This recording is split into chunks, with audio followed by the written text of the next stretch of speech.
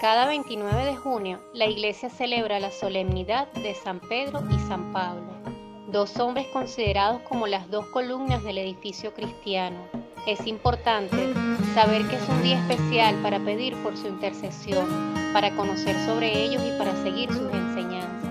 Ambos mueren por martirio en Roma, en época de Nerón, y su persecución a los cristianos.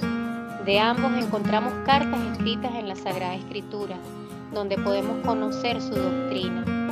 El apóstol Pedro, su nombre era Simón, luego de ser quien reconoció a Jesús como el Hijo de Dios, Cristo le llama Cefás, Pedro, que significa roca. Es por esto que Pedro es la roca donde se construye la iglesia, siendo él el primer papa de la historia. Era un pescador, un hombre fuerte, bastante impulsivo, y que le gustaba ser notado. Aún así Jesús le llama y de inmediato deja todo para seguirle. Luego está con Jesús en los momentos más trascendentes de su historia en la tierra. Muere crucificado de cabeza, pues no se consideraba digno de morir igual que Cristo. Pedro nos enseña que sin importar la debilidad humana, las miserias del hombre, Dios nos llama con insistencia a la conversión y a la santidad, y como regalo divino nos otorga la fuerza de espíritu para lograrlo. Pablo, apóstol de los gentiles, llamado Saulo, era un judío acérrimo, ciudadano romano y perseguidor de los cristianos. Fue enviado a Damasco a tomar presos a todos los cristianos que allí se encontraran, pero fue él quien fue encontrado por el mismo Jesús y apresado por su amor. Allí comienza su conversión y desde allí su nombre es Pablo. Su vida corrió peligro constante por su labor evangelizadora, por lo cual muere en Roma bajo martirio. Fue decapitado y junto a Pedro se convierte en pilar de la fe cristiana. San Pablo nos enseña el gran valor de la conversión y la importancia de dar testimonio constante y coherente, sabiendo que Cristo es quien da el primer paso. De Él debemos aceptar los dones y carismas para seguirle y dar a todos participación de ese amor. En cuanto a su celebración, celebramos la memoria de ambos santos el mismo día, ya que los dos fueron apóstoles de Cristo, que dieron su vida por la evangelización del mundo. A tan alto nivel que son por ello considerados como las columnas de la iglesia.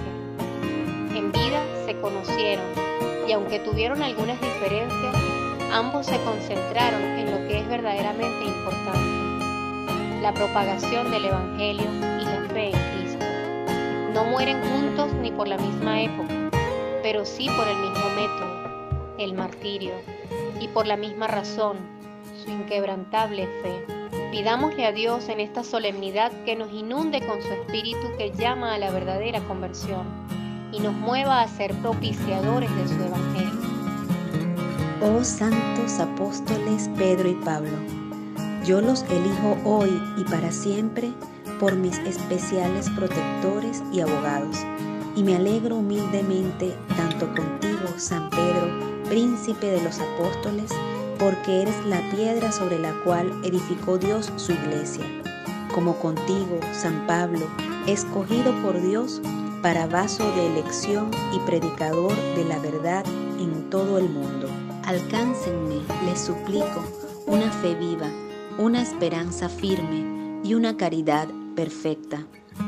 Atención en el orar, pureza de corazón, recta intención en las obras diligencia en el cumplimiento de las obligaciones de mi Estado, constancia en los propósitos, resignación a la voluntad de Dios y perseverancia en la divina gracia hasta la muerte, para que mediante sus intercesiones y sus méritos gloriosos pueda vencer las tentaciones del mundo, del demonio y de la carne, me haga digno de presentarme ante el Supremo y Eterno Pastor de almas, Jesucristo, que con el Padre y el Espíritu Santo vive y reina por los siglos de los siglos para gozarle y amarle eternamente.